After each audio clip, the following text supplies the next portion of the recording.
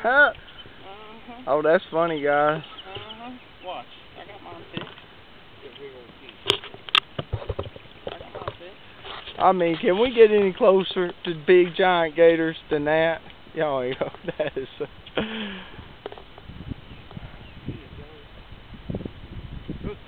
You gonna come in here and jump in the boat with us? Look at in the ear. Oh yeah. Hey y'all! Oh my goodness, y'all! Yeah. Y'all playing with danger now. We too close to that big damn thing. y'all playing. Oh, look at there.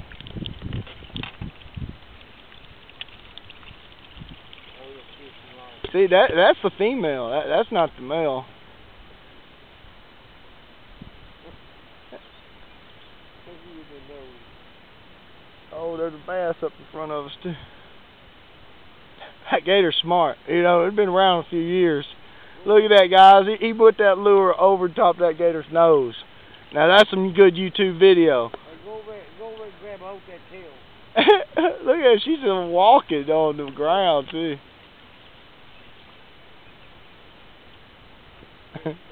Nah. I'm trying. Guys, hey, now, now that's what fun out here on the Mo Show is all about right there. Oh, this is fun.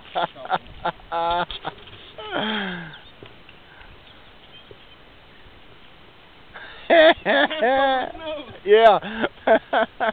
and look, look, she's really not even scared of it. She ain't. Oh,